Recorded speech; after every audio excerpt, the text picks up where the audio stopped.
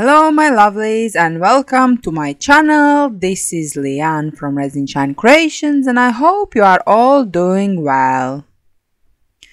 In today's video I have here a 40 centimeter in diameter uh, round board and today I'll be making another ocean scene I still haven't found the uh, exact technique that I would call my own.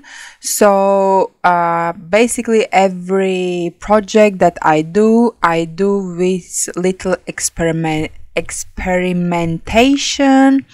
And today I am putting down uh, these rocks, pebbles and I will be incorporating them into my uh, beach scene. And yeah. Here I am sprinkling bit over uh, PVA glue just to hold them in a place. And this is the next day. The glue is uh, dried and I am using for the first time a wall filler so basically I'm just going around this rock surface and um, uh, filling the gaps. So it makes like one uni rock base that I'm kind of after and then I let it to dry. And also it's great to put down as a base for uh, just a beach just to lift it a bit. So when you pour resin it doesn't go on the beach uh, as well. And while it was still wet uh, at this stage I put little bit on uh, little smaller uh, stones uh, so I just try to create uh, more depth to this beach by adding some stones and sand afterwards.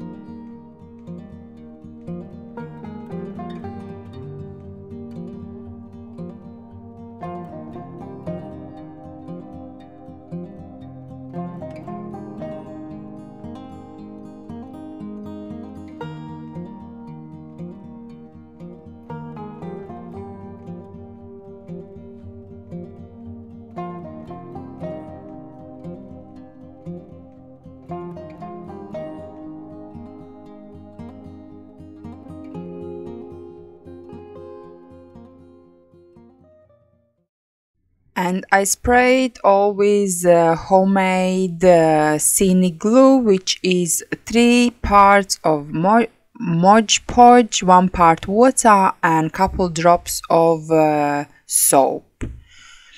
So and after I wait of course that it gets dry uh, so this is uh, the next day and I decided to start to paint and also with my painting techniques I'm experimenting and I started this time with black that was mixed together with Mod Podge also just to make sure that all the little pebbles and sand is embedded properly. And this is next coat that I'm going over with lighter, uh, more saturated with water color and yeah just keep going with different shades of browns and uh, still lots of saturation with water so the color is not that much uh, bright and once I'm happy how it looks the last color I go is a really light one just to go over with a, a dry brush and make the details pop and give them a highlights. And at this stage also I color my seabed blue.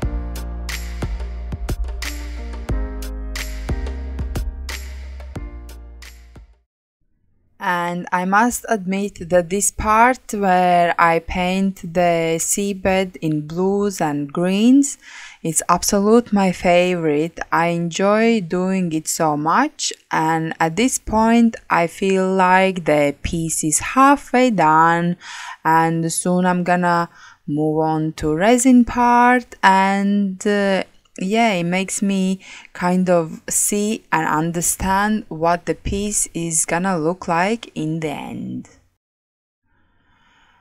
And I wait that it dries and then the next step is the resin pour. So this is gonna be my first coat. I have uh, two colors, the one darker, one lighter, and I just pour them over.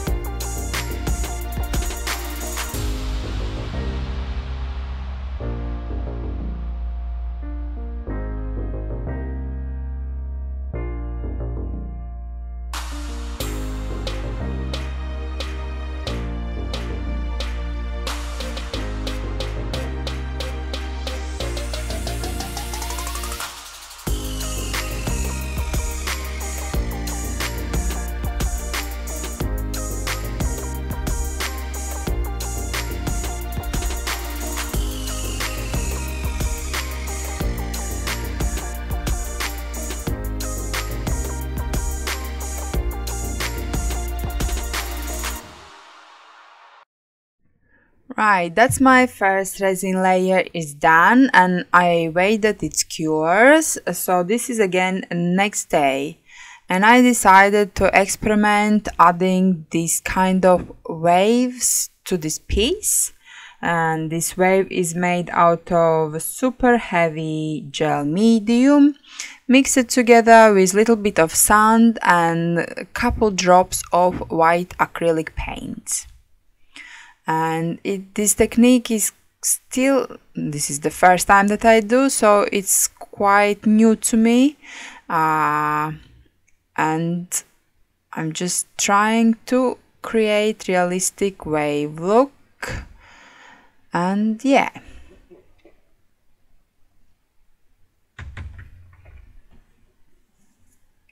So after it's gonna dry it dries roughly again 24 hours I'm gonna go in with the second layer of resin and gonna make waves as well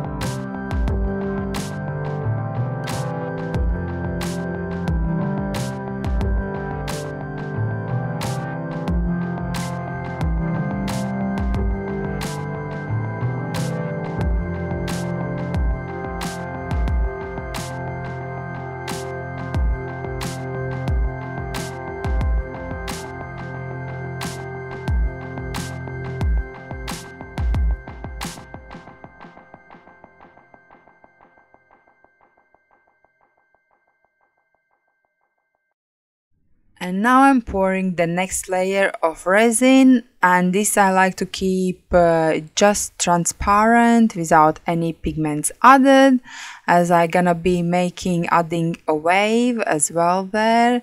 So it looks more natural looking I guess I would say. And also I will add that this uh, wave is a great barrier so you don't need to worry about uh, resin going downer than you would like. It uh, stays in the place wonderfully. So here I waited uh, 30 minutes and I'm going in with my white wave that I'm gonna blow out